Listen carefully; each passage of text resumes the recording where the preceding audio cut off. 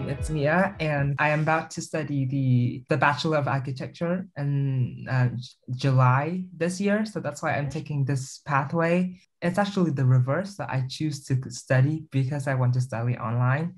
Um, uh, I think I think that a lot of people are will afraid that you know studying online uh, is will be a barrier but um, for me, I like to study online because I want to get um, familiar with the subjects and the kind of pressure that I will um, get myself into if I enter a university. So that's why I choose to study online. So yeah, it was um, nothing stressful, nothing um, negative feelings. I'm just really, yeah, I'm really happy and looking forward to study online so my plan was instead of you know flying to Australia and being shocked and um, sort of stressed both uh, with the um, studying program and also you know the homesick and stuff. With online studying, I'm I'm able to um, experience this sort of studies and programs and i know the pressures of the, the study materials and when i fly to australia it would be much more easier. I think that for people who it's um, afraid uh, to socialize um, you know so uh, this sort of zoom meeting and wechat um, uh, uh enables myself to uh, text my friends more and so that i have a sort of uh, I, I was not shy and I was able to connect to my friends a lot more. And also, um, you know, I have more time so that I can stay in Vietnam and also connected to my Vietnamese friend. So yeah, it's really good. First of all, they are really supportive and welcome encouraging me to ask questions and seek for support when I need it. And also with, you know, um, with tap sessions, which I never had a anything like this before. So which means I have like a one-on-one sessions talking to my teachers and asking for them to look take a preview at my assignment.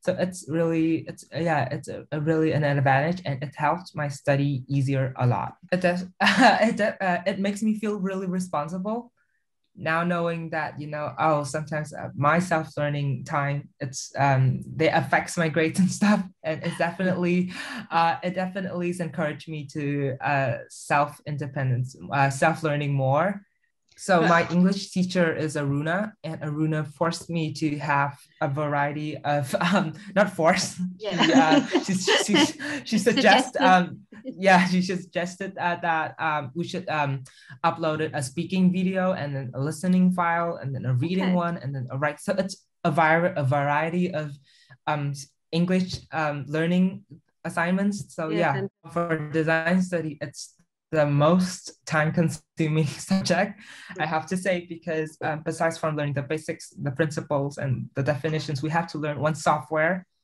and then one skills which is um, we have to learn photoshop and we also have to learn how to build and carve materials. But uh, it has been really fun and I have been really enjoying it because um, also Valeria, it's also, she's really supporting. And once at midnight, she sent me like a two hour video of her demonstrating um, uh, how to build a, a, pro, a, a building. So yeah, I also have some, um, you know, uh, support from the teachers. So the, the, the subject, it's really been fun and uh, exciting to learn. Mm-hmm. Mm-hmm. Uh, now um, can I share my materials? Yes, go ahead. Yes. Okay, um, so for the building, uh, that it looks a bit crappy, but it's fine. we have to build the the the, uh, the model for the classroom that we are about to renovate. So we renovate it in Photoshop and SketchUp, and then we have to build it in 3D. So here is the classroom, and I also yeah I carve out some of the windows and the walls, and also I have to maintain the structures, which is the door where's the oh here. The door and also the um, the pillar. Yeah. So yeah um, i've never tried um, making a model but now it is possible because of design study. Yay